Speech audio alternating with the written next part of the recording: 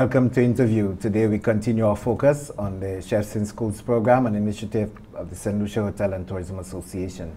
Today we have with us a couple of students from the Babonneau Secondary School who will be telling us of their experience going into the Chefs in School initiative.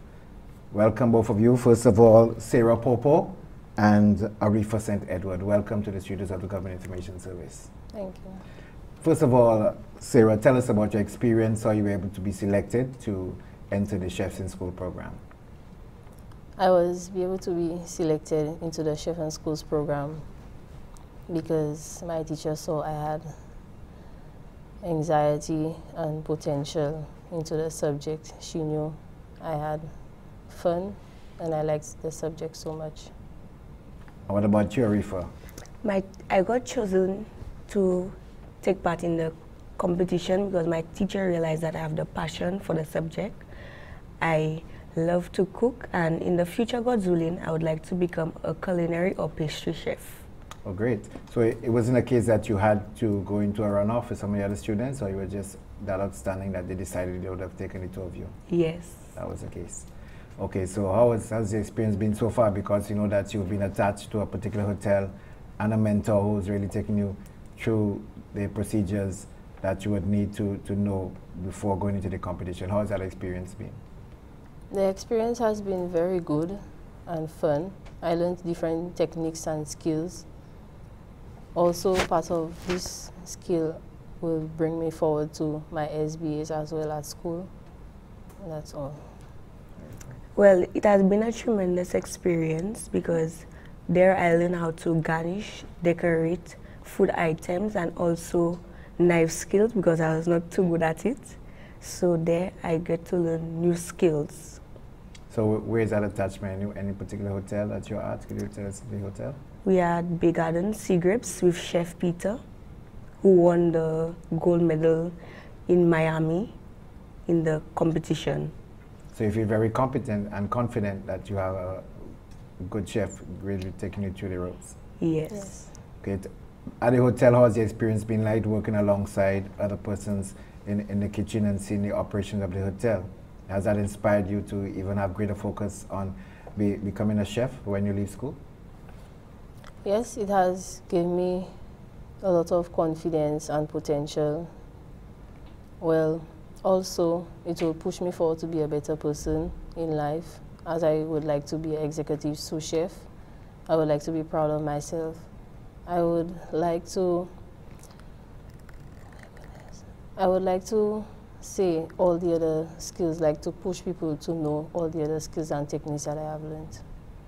So if what, what is a, a, a regular day like at the hotel and your interaction with the other members who would be around the kitchen, how is it like? How often do you go to the hotel, first of all? And what do you do when you do go with the chef who's actually training you for the competition? Well, we go there three days a week. There we practice our dishes. The kitchen is always bursting with excitement. The staff are friendly. And there we always learn something new every day.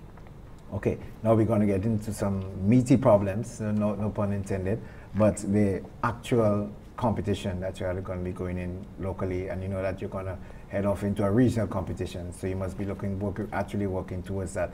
So there, there's also your, your signature dish, and also there's the mystery basket. So tell us, you know, how you're preparing for these two elements of the competition. Sarah, you first. Well, we are preparing a lot of different items, trying to use more of our local dishes here. That's what we are trying to do and work on our decoration more. Arifa? Well, our dish is a surprise, so on the day you'll get to know. It is a local dish actually, but what we are doing, we are trying to work on our our plating, the way it, our presentation of the dish. So that's what we are trying to work on now. Okay, so these two aspects of, of the competition, the mystery and the signature, do you find it's a, a bit of a challenge to differentiate how you're actually going to approach preparation for those two aspects?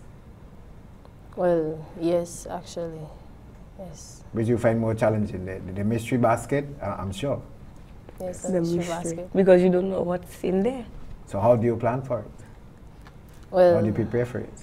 we will prepare what's when the box is opened. We will just see what's inside and try to put our best out there to show the skills we have. Okay, um, as we close up, what would you like to say to your other schoolmates uh, about the experience that you're having so far? Well, I, it's unfortunately that everyone cannot get the opportunity, but like it's a great experience, and I, I would like to say to my fellow colleagues that if they get the opportunity to take part in any of these competitions, that they go for it because in the future it will help you. Sarah? Well, I would like to say to my fellow colleagues as well, I will tell them congratulations for getting there into the competition as well. And it's not everybody that's all they wanted. It's not everybody that could get it. So I'd like to say congratulations to them too. We've come to the end of our first part of our program here on interview. We had with us Sarah Popo and Arifa St. Edward out of the Babonneau Secondary School, two of the participants in the Chefs in Schools program. We'll take our break. We'll be back in just a moment. What's in the food you're eating? Do you really even know? All the chemicals and hormones used to accelerate their growth. All the artificial flavoring, sweeteners and colors too. We consume and we don't spare a thought for the damage that they'll do. No, think about the children. Think about the children. How Chemicals and GMOs are not the solution. Use organic and join. Excessive agrochemical use, additives, and genetically modified foods are harmful to health and the environment. Join the good food revolution. Grow, buy, and consume organic. A message from Rise St. Lucia and the Ministry of Sustainable Development with funding from the GEF Small Grants Program UNDP. Good food revolution. Thanks for staying with us. We continue with interview. Now we have two students from the Choiseul Secondary in Marissa Jean and Zeda Fatal. Welcome, both of you. and you. we are looking at, as we told you earlier, the Chefs in School program, the initiative of the Cemetery Hotel and Tourism Association.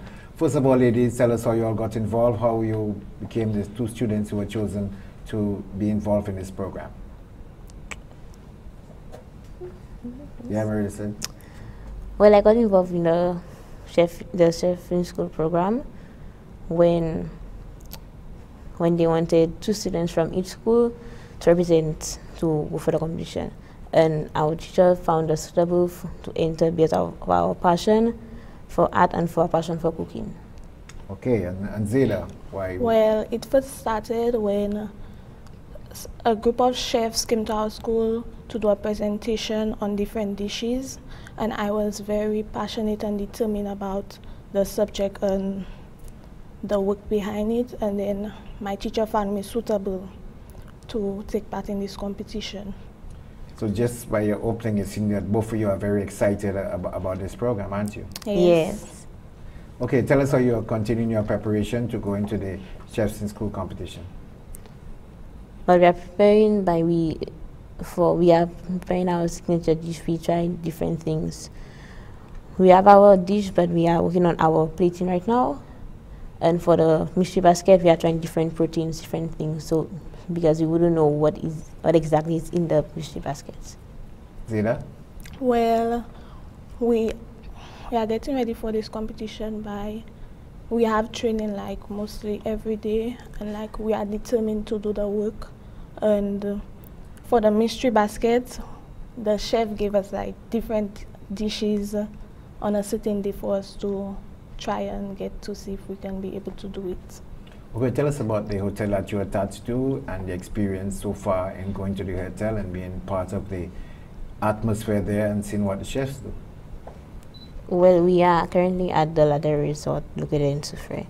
The experience at the hotel has been great and sometimes complicated depends on what we are preparing. The chefs they are genuinely genuinely nice every day they'll call us, they'll show us different things, different techniques in the in the kitchen, and sometimes in pastry. Okay, Zeda, you, are, you have a similar experience in the hotel? Yes, well, we are located at Ladera, also known as the Dasheene, and uh, our experience there have been challenging at times because some of the dishes uh, we are complicated in doing it, and the chefs is very patient with us. Okay, the, the, the, mystery basket and the signature, and the question I've asked some of your other competitors, how difficult is it to anticipate what the mystery basket might be like and how you're going to prepare for it in comparison to your signature dish, which is something you can probably just perfect by a particular stage, but you're thrown into the surprise of the, the mystery basket.